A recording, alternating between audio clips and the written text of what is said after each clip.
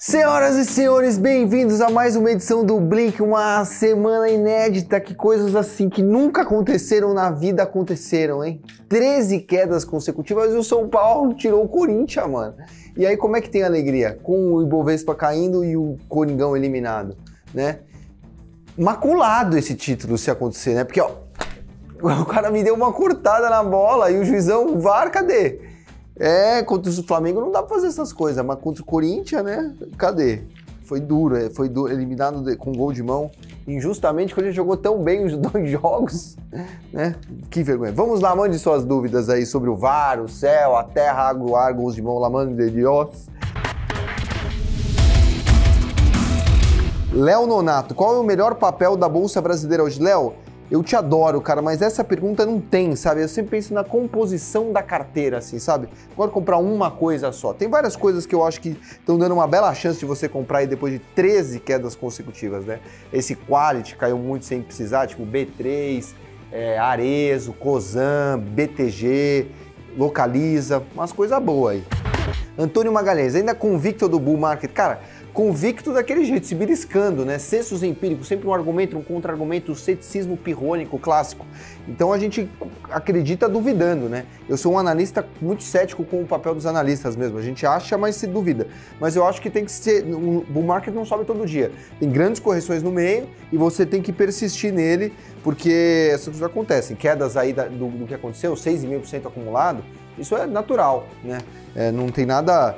É fora dos padrões de bull market típico. Então acho que ainda a montanha russa brasileira, ela ainda é para cima sim.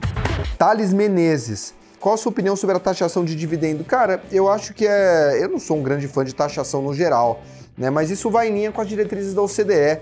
Então eu acho que não não é uma grande. Acho que deve, deve acontecer, deve passar, e você vai taxar dividendo e você diminuir a, a alíquota de imposto corporativo. Faz sentido que assim o rentista ganha menos e se você investir na capacidade produtiva, você ganha mais. Eu acho que vai acontecer, faz sentido. Era também uma pauta do Paulo Guedes, agora é uma pauta do Haddad, ou seja, ela é uma pauta suprapartidária de interesse nacional, é, é de uma pauta de Estado e não de governo. Então faz sentido, embora o lobby também seja muito grande e dificulte um pouco essas coisas. John Koski, Timão tem enorme torcida com poder aquisitivo, poderia estar entre os mais ricos do planeta. É uma afirmação, não é uma pergunta, mas eu acredito nisso, sabia? Eu queria muito fazer um projeto, eu tenho essa, muito essa ideia, falei pro Dan Stuba, que é meu grande amigo, falei, será que a gente não consegue ali transformar o Corinthians numa SAF, caminhar isso pro IPO, faz aqui o IPO no BTG, uma festa ali, ó. Imagina, André Esteves lá no Itaquerão, com a camisa da Gaviões da Fiel, já imaginou essa cena? Ia ser um negócio curioso, no mínimo, né? Helena Sayuri, nossa senhora, cada coisa que fala aqui, depois arrepende, né? Helena Sayuri, qual a sua segunda montanha? Cara, eu queria um tempo mais para ficar com os meus filhos e para ler mais coisas. Não tenho tempo de nada, gente. Três filhos acaba a sua vida. É uma maravilha horrorosa. Deus me livre quem me dera, né? Você ama, mas você fala assim, nossa, só faço isso. Léo Blá, Rádio Blá, eu te amo, já diria Lobão. Seria o imobiliário chinês too big to fail? Cara, não é tão simples, né, de você salvar todo mundo.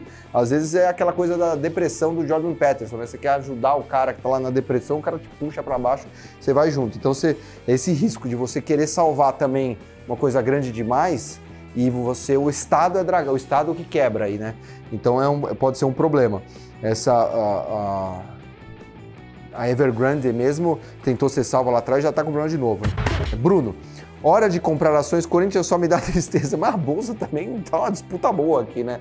Então vamos ver. Mas eu acho que é, o Coringão vai renascer aqui como grande corintiano. Essa sul-americana ninguém tira. E a hora de comprar ações também é ninguém tira. É isso, senhores. Vamos acabar então com essa imagem de André Esteves lá na Gaviões da Fiel, lá na Grande Geral, comendo um espetinho, um calabresa ali depois do jogo, celebrando o IPO do Corinthians. Valeu, pessoal, um grande abraço, até semana que vem.